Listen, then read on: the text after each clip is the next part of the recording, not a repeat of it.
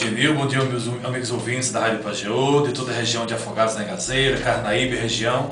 É, mais, um, mais uma vez é um prazer enorme estar aqui com vocês e poder a gente discutir um pouco, né? Poder falar um pouco aí do direito, né? não só do direito previdenciário, mas do que, que o ouvinte também, né? Quiser ouvir aí, a gente está pronto aí para discutir um pouco e passar um pouco da nossa experiência é, dos assuntos ligados à seara jurídica, à seara do direito. Então vejam só, em, em, em relação ao seu questionamento inicial, no que se refere a novidades, houve, está, está, está em grande ascensão, na verdade, e isso é algo que a gente está bastante, bastante ativo, bastante preocupado com isso, são em relação aos alguns benefícios, alguns benefícios notadamente referenciados à questão de quem tem problemas de saúde. Por exemplo, a justiça vem concedendo com, as, com praticamente uma unanimidade é, é, sem, sem precedentes no que se refere às pessoas portadoras do, da síndrome né, da, da, da, HIV.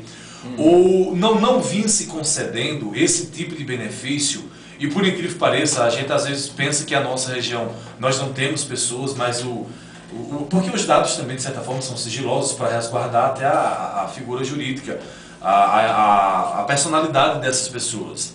Mas para você ver, eu, só eu particularmente, eu venho acompanhando só em Princesa Isabel atualmente 12, 12 ações dessa natureza, ou seja, numa cidade pequena como Princesa Isabel, próxima aqui, né, Afogados da Engazeira, nós temos 12 ações dessa natureza, e o, o Poder Judiciário não vinha concedendo esse tipo de, esse tipo de benefício. Bem como também não vinha concedendo é, o salário maternidade para menores de 16 anos de idade. Né? Então, é, são, são novidades próximas que o, a Justiça não vinha concedendo e com base em decisões recentes do Superior Tribunal de Justiça, esse tipo de decisão agora vai ser sim concedido, esse tipo de processo vai ser concedido tanto para pessoas portadoras do, da síndrome da HIV, porque o que é que o INSS entende, o que é que a legislação previdenciária vinha entendendo? Que a pessoa é, infelizmente, há, uma triste realidade ainda no Brasil, em termos previdenciários, de que para que você consiga, benefícios previdenciários, auxílios doença em especial, você praticamente tinha que estar tá acamado, você tinha que estar tá paraplégico, você tinha que estar tá num, num mundo onde você apenas vegetasse não vivesse praticamente. Se não fosse dessa natureza, o INSS não concederia lá o teu benefício.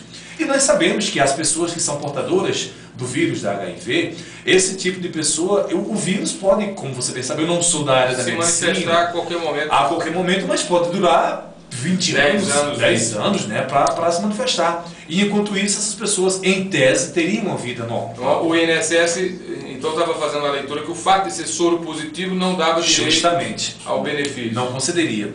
E agora a justiça brasileira está concedendo. Eu, particularmente, agora nos últimos três meses, eu consegui quatro liminares judiciais e todas essas pessoas estão percebendo. Né? E ao lado dessa, como eu te falei. Então criou uma jurisprudência. Já criou jurisprudência formada, até porque é do próprio STJ, do Superior Tribunal de Justiça, então vem com peso, é uma jurisprudência de peso. E a outra, meu querido, é em relação ao auxílio, ao salário maternidade para menores de 16 anos de idade, que também não vinha sendo concedendo, e o STJ também recentemente é, decidiu por conceder os salários de maternidade para as menores, para as mães, né? no caso para as mulheres menores de 16 anos, claro, desde que elas tenham os documentos comprobatórios de que exercem atividade rurícola. Né? Então, assim, são duas coisas bem recentes aí, que houve alteração, que importa dizer, importa ressaltar e trazer para o ouvinte aí da Rádio Pajeú. Agora, é impressionante